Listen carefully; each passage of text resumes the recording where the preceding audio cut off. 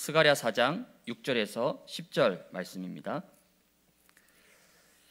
그가 내게 대답하여 이르되 여호와께서 수르바벨에게 하신 말씀이 이러하니라.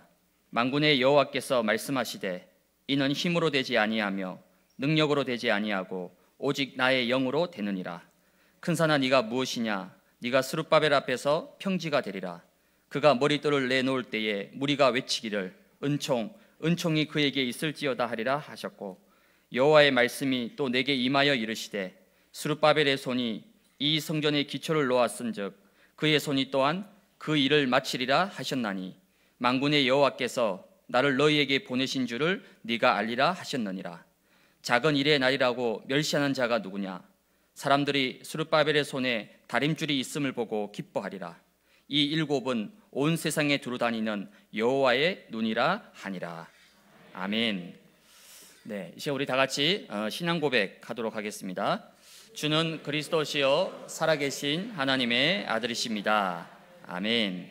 네, 우리 옆에 분들 보시면서 반갑게 우리 인사하겠습니다. 세틀의 인생이 됩시다. 아멘. 네, 오늘 수요 예배는 큰 산하 평지가 되리라라는 제목으로 함께 말씀을 나누겠습니다. 어, 에베소서 4장 22절에서 24절에 보면 어, 너희는 유혹의 욕심을 따라 썩어져가는 구습을 따르는 옛사람을 벗어버리고 오직 너희의 심령이 새롭게 되어 하나님을 따라 의와 진리의 거룩함으로 지으심을 받은 새 사람을 입으라. 오늘 성경은 예, 구습을 따르는 옛사람과 의와 진리의 거룩함으로 지으심을 받은 새 사람 두 종류의 사람에 대해서 성경은 말씀하고 있습니다. 옛사람은 과거의 상처와 실패와 불신앙의 예틀에 갇혀 있는 고정형 인생을 말합니다. 반면에 새 사람은 의와 진리의 거룩함, 즉 하나님의 말씀을 그대로 믿고 즉시로 순종하고 따라가는 그래서 어떤 문제와 사건을 만나더라도 일산파의 칼을 가지고 모든 문제의 매듭을 단순히 풀어버리는 그런 세트를 가진 사람을 말하고 있습니다. 그럼 과연 여러분들은 어떤 사람입니까? 옛사람입니까? 새사람입니까? 오늘까지 3일 동안 옛사람으로 살았습니까? 새사람으로 승리했습니까? 예, 생각보다 예상보다 대답이 굉장히 저죠. 오늘 이 자리에 오신 결과가 바로 새 사람이기 때문에 여러분 승리하시고 이 자리에 오신 줄로 믿습니다. 예. 여러분이 어떤 인생으로 살아가기를 원하십니까? 내 남은 이 소중한 인생을 구질구질한 예틀에 갇혀가지고 옛사람으로 살 것이냐? 아니면 하나님 주시는 어마어마한 영적 본론의 축복을 향해서 나아가는 새 틀의 인생이 될 것이냐? 오늘 이 밤에 여러분이 믿음으로 결단할 수 있는 중요한 축복의 밤이 되기를 바랍니다. 어, 얼마 전에 저희 아들하고 딸 예, 이제 8살, 6살이 됐는데요. 제가 이제 핸드폰 이제 어, 아이폰을 제가 쓰고 있습니다. 근데 그 아이폰 뒤에 보면 애플 로고가 있습니다. 그 보면 이제 뭐 이렇게 사과를 이렇게 베어 먹은 듯한 그 로고가 있죠. 이제 아직 어리니까 그걸 보고 이제 저희 딸과 아들이 그걸 이제 선악과로 생각한 거예요. 선악과. 실은 사과인데 apple인데. 예. 그래서 이 애플 이거 흑암 문화라고 이제 선악과니까 따먹었으니까 예, Remnant다운 생각이겠죠. 그러면서 자기들은 앞으로 어, 커서 이제 예수님이 나오는 핸드폰을 만들 거라고. 예. 그리고 삼원을 나오는 핸드폰을 만들겠다고. 예. 예. 일단 꿈은 클수록 좋은 거죠. 예. 실현될지 안 될지 모르겠지만 예. 그렇게 이제 얘기하는 걸 제가 옆에서 들었습니다. 어, 저와 여러분들이 카페인 우울증에 그게 아니라 카페인을 보면서 그 껍데기 허울에 속는 것이 아니라 복음의 눈으로 영적 시각으로 창세기 3장, 6장, 11장의 현장에 답을 주고 살리고 치유하는 그런 전도 작품을 남기는 어, 세틀 인생의 증인이 되시기를 주님의 이름으로 축복을 드립니다. 어, 오늘 읽었던 이 스가랴서는 오랜 바벨론 포로 생활을 마치고 이제 성전 재건의 큰 비전을 가슴에 품고 예루살렘으로 귀환한 돌아온 유다 백성들에게 당장 찾아온 것은 바로 참담한 현실이었습니다. 오랜 포로 생활로 인해 가지고 예루살렘은 완전히 황폐해져 있습니다. 그리고 당장 먹고 살 기본적인 환경이 전혀 갖춰져 있지 않는 그런 아주 참담한 현실이 기다리고 있었습니다. 게다가 밖으로는 주변 나라들이 경계하고 이 성전 재건을 방해했습니다. 그리고 엎친 데 덮친, 덮친 격으로 안으로는 북이스라엘 동족이죠. 이 동족들이 이 성전 재건을 거세게 반발하고 방해하고 핍박을 가했습니다.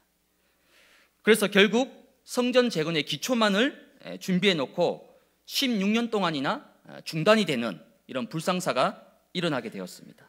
이때 하나님께서는 스가랴 선지자를 세우셔서 낙심과 좌절과 절망에 빠져 있는 이스라엘 백성들에게 말씀을 주셨습니다.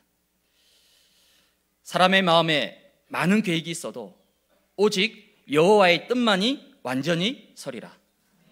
2019년을 시작한 지 이제 벌써 두 달이 지났습니다. 그리고 이제 새로운 3월 첫 주를 맞이했습니다. 특히 오늘은 만물이 겨울잠에서 깨어난다라는 경칩. 아마 우리 젊은 청년들, 레몬트들은 잘 모르죠. 저도 잘 이게 오늘 네이버 보고 알았습니다. 오늘 경칩이라고. 막 개구리가 계속 그림이 뜨길래 뭐냐 봤더니 오늘 만물이 겨울잠에서 깨어난다는 봄의 기운이 찾아오는 경칩이라고 합니다. 어, 뉴스에 보니까 이 개구리들이 봄 기운을 느끼고 겨울잠에서 깨어나서 밖으로 나왔다가 바로 마트하고 약국으로 가서 미세먼지 마스크를 다시 사서 다시 땅 속으로 들어갔다라는 네, 그런 이야기가 들리고 있습니다. 참 심각한 상황이죠. 하나님이 저와 여러분에게 주신 네, 사천 말씀 운동 그리고 237 나라 복음화 그리고 그 속에서 여러분 개인과 가정들을 또 생업과 현장에서 주신 이 언약들을 붙잡고 여러분들은 지금 어떻게 인도를 받아가고 있습니까? 분명히 시작은 원대한 언약과 비전과 꿈을 가지고 그렇게 출발을 했는데 지금 나의 현실은 지금 나의 상황은 낙심과 염려와 그리고 답답함 속에 있을 수 있습니다. 오늘 수협에 참석한 그리고 인터넷으로 멀리서 함께 예배드리는 우리 모든 예언의 가족들에게 있는 모든 큰 산들이 완전히 무너지는 그러면서 닫혀 있는 많은 응답의 문들이 열려지는 그런 귀한 시간으로 승리하시기를 주님의 이름으로 축복을 드립니다. 첫 번째는 무너져야 할 큰 산입니다. 성전 재건의 꿈과 희망을 안고 예루살렘으로 돌아온 유다 백성들에게 당장 찾아온 것은 다름 아닌 현실적인 문제와 큰 어려움이었습니다. 당장 먹고 살아가야 할 삶의 터전이 완전히 황폐해져 있고 그리고 성전을 재건하기 위해서 필요한 것들은 너무나 많이 있지만 실제 가지고 있는 것은 아무것도 없는 그런 굉장히 어려운 현실 속에 놓여져 있었습니다. 이처럼 오늘날 우리의 삶 속에도 많은 큰 산들이 저와 여러분들 앞에 놓여져 있습니다. 지금 나에게는 어떤 큰 산이 놓여져 있습니까? 우리 가정에는 어떤 큰 산이 지금 놓여져 있습니까? 지금 우리의 지역과 현장에는 어떤 큰 산들이 가로막고 있습니까? 오늘 이 밤에 무너져야 될 큰 산 반드시 있습니다.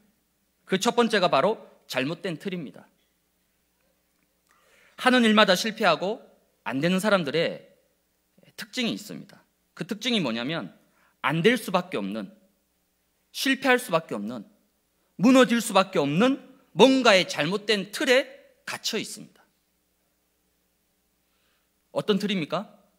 철저하게 나라는 나 중심의 틀. 그리고 모든 것이 돈, 물질, 육신, 욕심, 이러한 틀.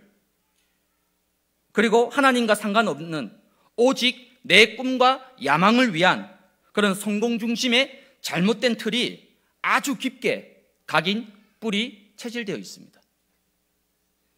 오늘 이스라엘은 70년이라는 긴 세월 동안 바벨론에서 포로 생활을 하면서 자신들도 모르게 이 불신앙과 세상의 문화가 뼛속 깊이 스며들었습니다.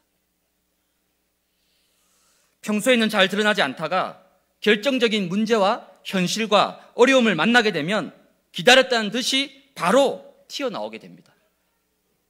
평상시엔 잘 나오지 않습니다. 근데 결정적인 순간을 만났을 때, 결정적인 문제와 어려움을 만났을 때 내 안에 각인돼 있는 내 안에 뿌리 내리고 있는 잘못된 틀이 바로 튀어나오는 겁니다. 이처럼 사람은 결국 각인된 것이 응답으로 오게 됩니다. 뿌리 내린 것이 열매로 맺혀지게 됩니다. 체질된 대로 남은 인생과 미래를 그 체질대로 반드시 살아가게 됩니다. 그렇다면 지금 나에게 각인된 거, 지금 나에게 뿌리 내려져 있는 거, 지금 나에게 체질되어 있는 거 얼마나 중요하겠습니까? 사사기 21장 25절에 보면 그때에는 이스라엘의 왕이 없었으므로 사람이 각기 자기의 소견에 옳은 대로 행하였더라.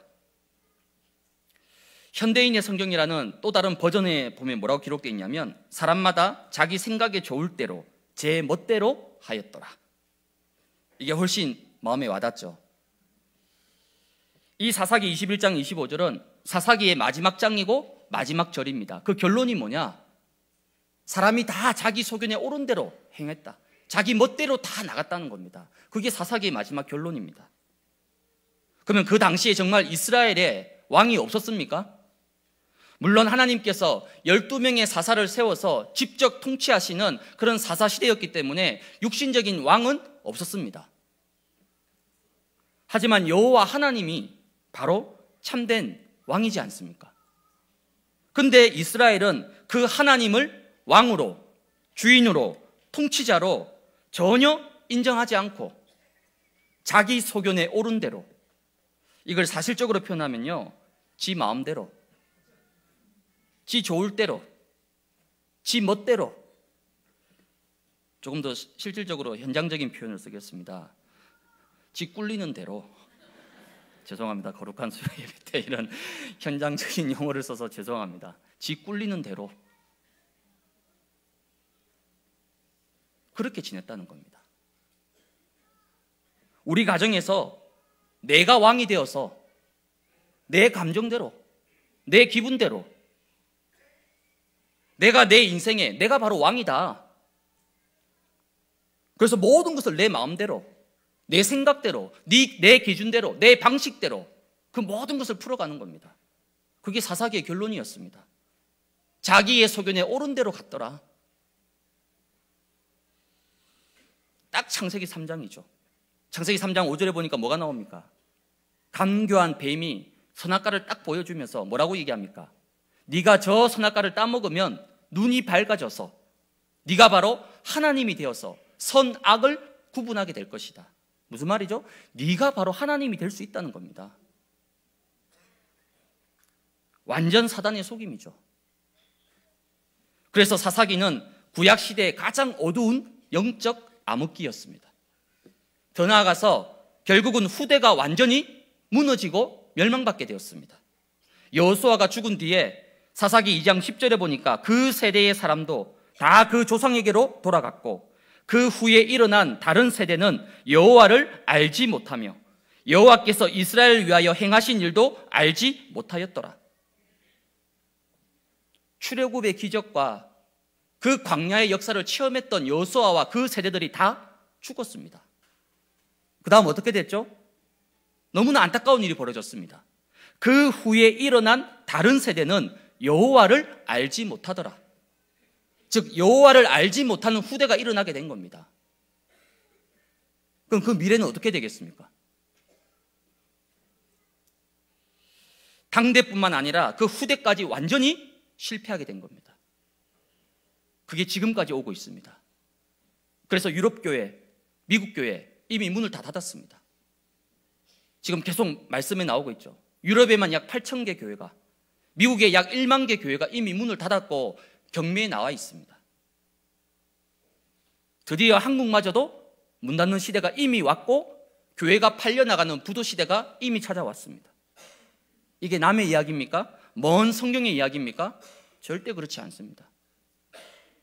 자기의 소견에 옳은 대로 행하였더라.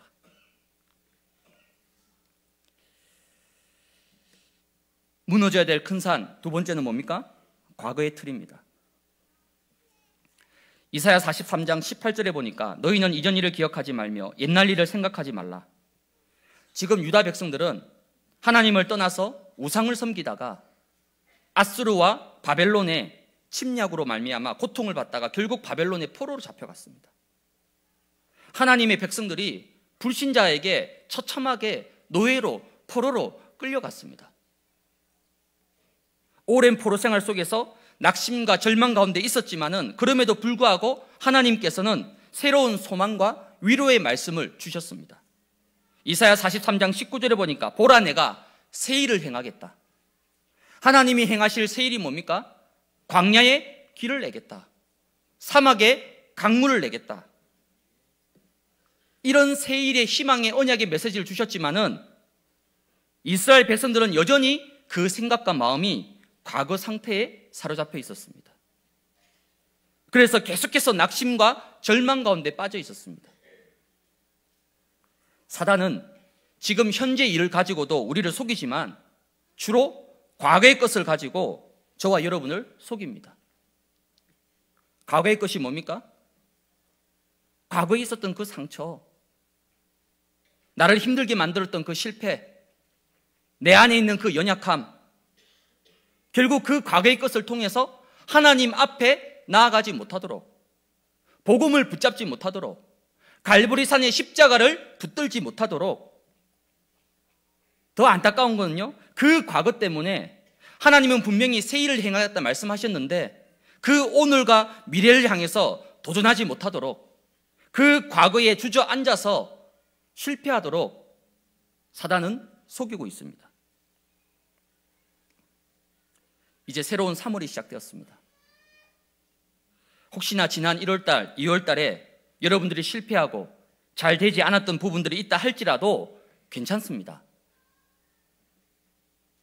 어제 비록 실패했지만 오늘 다시 언약 붙잡고 그리스도를 바라본다라면 하나님은 반드시 여러분을 일으켜 세우실 것입니다. 주님을 부인하고 그것도 세 번씩이나 부인하고 나중에는 실망해가지고 그냥 고기나 잡으러 가자. 그게 베드로 수준입니다. 그게 베드로의 상태입니다. 그런 실패한 베드로를 우리 주님께서는 지금까지 베드로가 실수하고 실패했던 모든 것들 다 기록해가지고 하나씩 하나씩 다 따지면서 그렇게 책망하지 않으셨습니다. 낙심하고 실망한 베드로에게 오히려 주님은 새로운 사명과 힘을 주셨습니다. 괜찮다는 거죠. 실패할 수 있습니다. 넘어질 수 있습니다. 저와 여러분은 그리스도가 아니잖아요. 우리는 연약합니다. 그래서 복음이 필요하죠. 그래서 그리스도가 필요한 겁니다. 이전 일, 지난 일, 옛날 일, 과거의 모든 상처와 그 틀들을 오늘 이 밤에 완전히 다 벗어버리시기 바랍니다. 무너져야 될 큰 산 세 번째는 어, 실패의 틀입니다. 오늘 스가랴 4장 6절에 보니까 힘으로 되지 아니하며 능력으로 되지 아니한다라고 성경은 말씀하고 있습니다. 포로에서 돌아와서 성전을 재건할 때에 이스라엘 백성들 마음에 무슨 생각이 있었냐면 이제 우리가 겨우 정말 겨우 겨우 고향으로 돌아왔는데 지금 당장 돌아와서 집도 지어야 되고 먹고 사는 것도 챙겨야 되는데 무슨 성전 재건이냐? 그리고 이전에 지은 그 솔로몬 어마어마한 그 솔로몬 성전에 비해서 너무나 초라하고 보잘것없는 이 스룹바벨 성전 짓는 것이 과연 무슨 유익이 되고 이게 무슨 큰 일이 되겠느냐? 유다 백성들의 마음에 이런 교만함과 강팍감이 가득 차 있었습니다. 여러분, 과연 무엇이 실패라고 생각하십니까? 하고자 했던 일이 내 계획대로 내 뜻대로, 내 원하는 대로, 내 방식대로 이루어지지 않은 것이 실패입니까? 그것 때문에 낙심하고 있습니까? 그것 때문에 지금 힘 빠져 있습니까?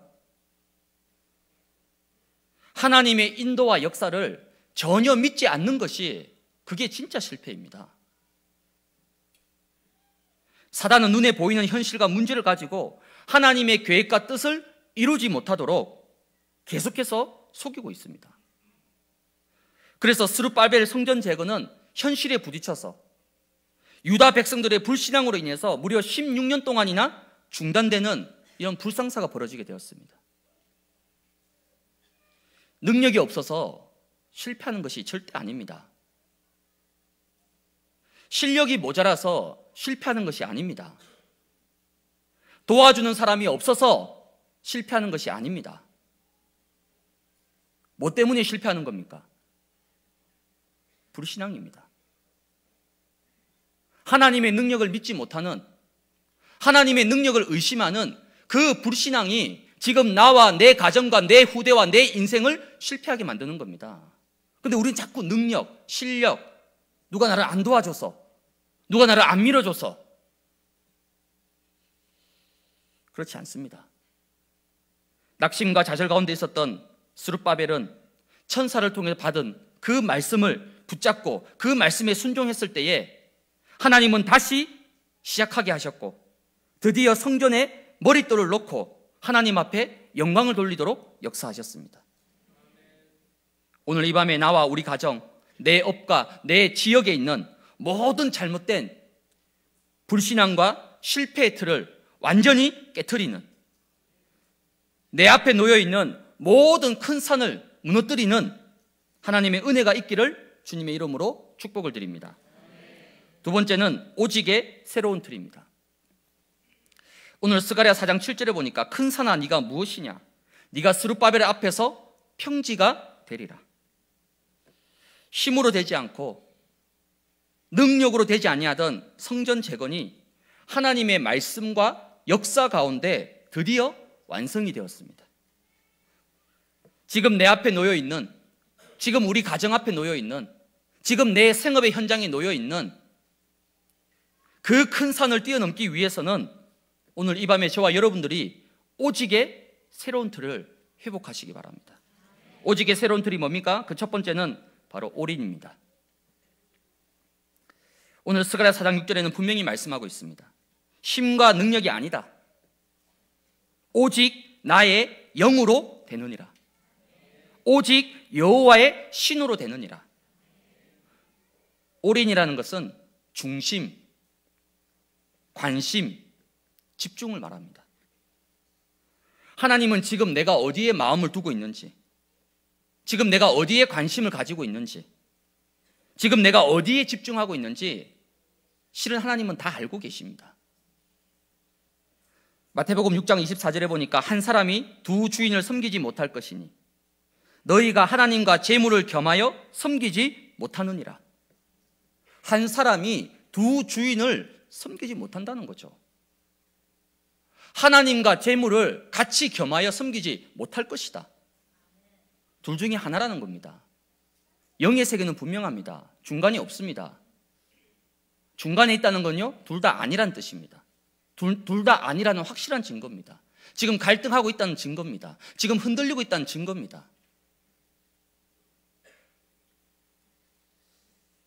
사단은 저와 여러분들이 하나님이 가장 원하시는 것에 올인하지 못하도록 즉 분열되고 갈등하고 흔들리도록 만들고 있습니다. 시편 119편 113절에 보면 내가 두 마음을 품는 자들을 미워하고 주의 법을 사랑하나이다. 두 마음 품는 자. 야고보서 1장 7절에서 8절에 보면 두 마음을 품어 모든 일에 정함이 없는 사람은 기도 응답 받기를 전혀 생각하지 말라고 얘기하고 있습니다. 기도하면서도 두 마음을 품고 있는 거예요. 하나는 하나님의 계획, 하나는요, 내 생각. 하나는요, 하나님의 뜻. 다른 한편은요, 내가 원하는 거. 이두 마음을 품고 기도하는 사람은 아예 응답받을 생각을 하지 말라 얘기하고 있습니다. 그 다음 저와 여러분이 어디에 올인해야 되겠습니까? 오직 하나님의 나라. 오직 성령 충만, 오직 그리스도. 뭡니까? 138. 예, 요즘 워낙 숫자가 많이 나오니까 그렇죠? 우리 다락방은 숫자 놀이지 않습니까? 138, 14, 24, 25, 00. 비밀번호도 굉장히 쉽게 예측할 수 있습니다. 저도 굉장히 제가 많이 쓰는 비밀번호가 1616. 제 이메일 주소도 1616이고 예, 더 얘기하면 개인 신상이 털리니까 예. 138. 저와 여러분이 문제에 올인하는 것이 아니라 지금 내 형편과 내 사정과 내 현실에 올인하는 것이 아니라 그것을 발판 삼아서 그 속에서 주시는 하나님의 언약의 말씀을 붙잡고 사도행전 1장 14절에 더불어 마음을 같이하여 오로지 기도에 힘쓰니라. 무슨 말씀입니까? 예배의 생을 거는 여러분 올인을 한번 해 보시기 바랍니다.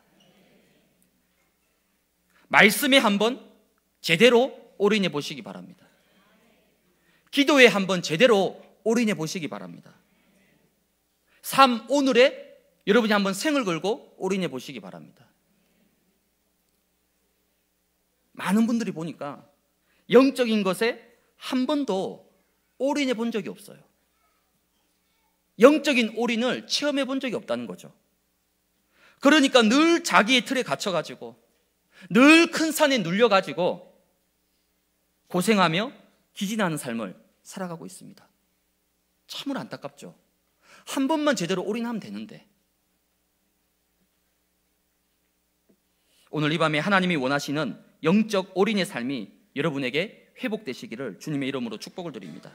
오직의 새로운 틀 두 번째는 바로 all out입니다. all out이라는 것은 온 힘을 다하여 총력을 기울인다. 전력을 다한다. 그게 올 아웃의 뜻입니다. 하나님께서 가장 원하시는 것에 all in하고 집중하면 그 속에서 참된 능력과 힘이 회복됩니다. 하나님이 주시는 힘과 능력을 가지고 이제 저와 여러분들이 어디로 향해서 나아가야 되겠습니까? 올 아웃이라는 것은 방향성을 얘기하는 겁니다. 어디로 나갈 것이냐? 어디로 달려갈 것이냐? 그게 올 아웃입니다. 빌립보서 3장 14절에 보니까 표대를 향하여 그리스도 예수 안에서 하나님이 위에서 부르신 부름의 상을 위하여 달려간다라고 바울은 고백하고 있습니다. 바울이 어디에다가 올아웃했습니까? 표대. 내 야망, 내 동기, 내 성공, 내 목적 그게 아니라는 거죠. 위에서 부르신 그 부름의 상을 위해서 바울은 일평생 올인했고 올아웃했습니다. 그렇다면 내 인생은 지금 어디를 향해서 무엇을 향해서 달려가고 있습니까? 나는 지금 어디에 시간과 에너지와 모든 것을 쏟아붓고 있습니까?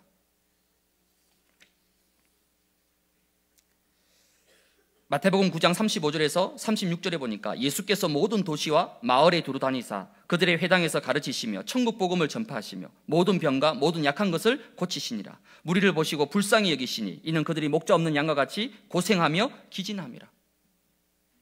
누가복음 8장 1절에도 그 후에 예수께서 각 성과 마을에 두루 다니시면서 하나님의 나라를 선포하시며 그 복음을 전하실세 열두 제자가 함께하였고 예수님께서도 직접 두 발로 각 성과 각 마을과 각 도시, 각 촌을 다 두루 다니셨다는 겁니다. 모든 현장을 다 가셨다는 겁니다.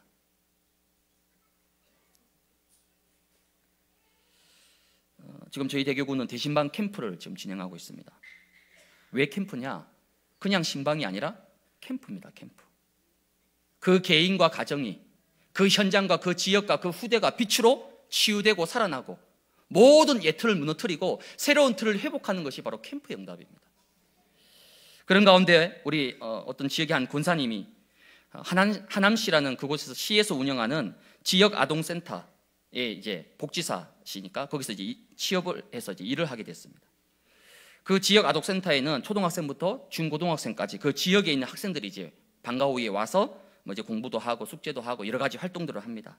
근데 이 권사님이 그 지역 센터 아동 센터에서 어떤 초등학생 한 명, 2학년인가 3학년 학생 한 명을 만났는데 이 아이는 유치원 때부터 그러니까 7살 때부터 늘 자기 죽고 싶다고 늘 자살을 생각하고 늘 자살 충동을 느끼고 늘 자살을 시도하려고 했던 그런 친구가 있었습니다. 그러니까 가정의 그 상처와 부모님의 이혼과 여러 가지 가정의 어려움 때문에 얼마나 힘들었으면 일곱 살이 뭔 세상을 안다고. 그렇게 시달리다가 이 지역 아동센터에 와서 권사님을 통해서 복음을 듣고 예수를 영접하게 되었습니다. 이 아이뿐만 아니라 그 지역에 많은 문제 많던 아이들이 이 아동센터에 와가지고 영접하고 매일 말씀 듣고 매일 성경 구절 쓰고 그러면서 말씀이 점점 아이들 속에 들어가기 시작하면서 아이들이 서서히 변화되고 치유된 역사가 일어나기 시작했습니다. 그래서 그렇게 매일 싸우고 사고 치던 아이들이 이상하죠. 변화돼요. 그 어떤 걸로도 통제되지 않던 그 아이들이 말씀이 들어가니까, 복음이 들어가니까, 생명이 들어가니까 아이들이 치유받고 살아나기 시작합니다. 뿐만 아니라 그 아동 지역센터에 벌써 다문화 가정 아이들만 십수명이 될 만큼 완전 현장 중의 현장이죠. 어떤 권사님은 자기 아파트 바로 앞에 초등학교, 아니 그 중학교가 하나 있습니다. 바로 아파트 맞은편에. 아무래도 우리 집 아파트 앞에 중학교가 있으니까 그 중학교 현장을 놓고 3년 동안 일심 전심 지속으로 기도한 겁니다. 그 학교를 살리게 해달라고. 근데 너무나 신기한 건요.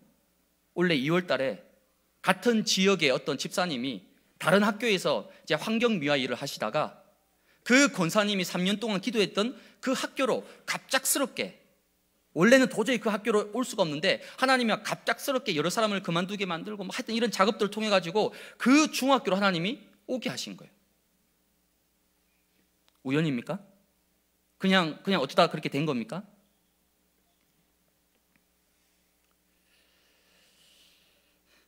저 멀리 떨어져 있는 어떤 지역의 권사님은 제가 얘기 들어보니까 신방 가서 이제 포럼을 듣는데 경제가 완전히 묶여버린 겁니다. 돈이 한 푼도 나올 데가 없을 만큼 완전히 경제가 묶여버렸습니다. 근데 참 신기하죠. 이 권사님이 가는 곳마다 계속 불신자가 예수 영접하고 복음 듣고 생명이 살아나고 영접 운동이 일어납니다. 그 외곽 지역이다 보니까 이 영접한 불신자들을 교회로 데려와야 되는데 교회 오는 게 쉽지 않죠. 그 멀리 떨어져 있다 보니까 지금 교회 셔틀도 지금 들어오지 못하고 있습니다. 이 권사님이 결단하신 거예요. 원래 모닝 타고 있었 모닝. 모닝이란 차를 타고 있었는데 도저히 그 차에 다 태울 수가 없는 거예요. 이 권사님이 결단하고 카니발로 바꿨습니다. 도저히 그럴 형편이 안 되는데 모닝도 버거운데 주일마다 6명, 7명, 8명을 그 차에 태워가지고 2부 왔다가 3부 오고 2부, 3부로 왔다 갔다 하고 있습니다, 지금. 그냥 버스 타고 오면 2시간 넘게 걸립니다. 초대교회는 지역마다, 집집마다 성전에 있든지 집에 있든지 예수는 그리스도라고 가르치기와 전도하기를 그치지 아니했다. 사도행 5장 42절에 나와 있죠. 초대교회는 완전히 올 아웃했습니다. 근데 우린 자꾸 핑계 댑니다. 어떤 핑계를 대죠? 아, 나는 가난하고, 나는 힘이 없고, 나는 연약하고, 나는 훈련도 많이 안 받았고, 나는 아직 준비가 안 되어 있어서. 아, 그래서 목사님 현장이 없어요. 목사님 전도할 곳이 없습니다. 대상자가 없어요. 요즘은 전도하기 쉽지 않습니다. 어렵습니다. 예, 물론 틀린 말은 아닐 수 있습니다. 근데 그건 뭐냐면요.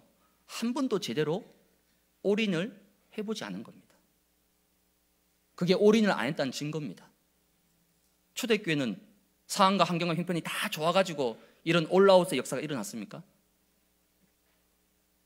한 번도 제대로 올인을 해본 적이 없는 거예요. 영적인 것에, 복음에, 말씀에, 사모늘에. 저와 여러분이 복음에 완전 올인하고 사모늘에 올인하면 그 어떤 현실도, 그 어떤 환경도, 그 어떤 것도 문제되지 않습니다.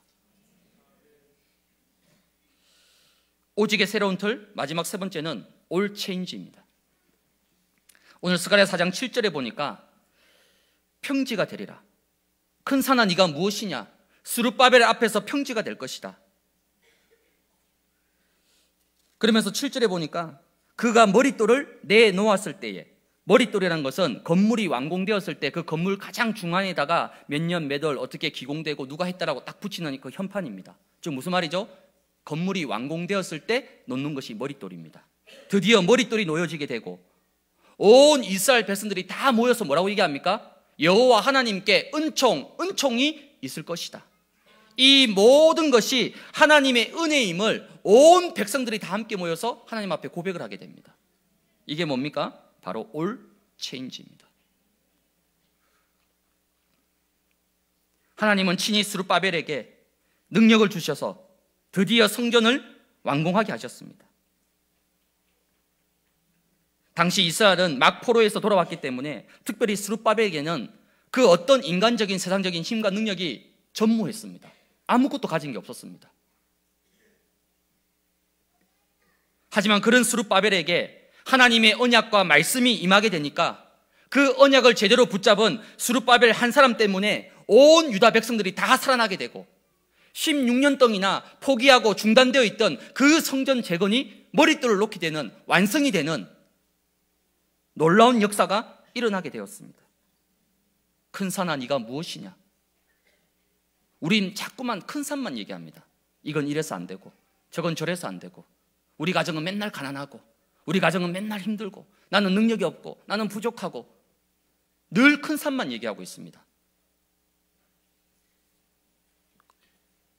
큰 산아 네가 무엇이냐? 수르바벨 앞에서 평지가 되리라. 복음은 그리스도는 그 어떤 것도 살리고 치유하고 변화시킬 수 있습니다. 여러분의 인생이 완전히 all change 되는 여러분의 가정과 후대와 자녀들이 all change 되는 여러분의 생업의 현장과 산업과 전문성이 all change 되어지는 이런 놀라운 축복을 여러분 누리시기 바랍니다.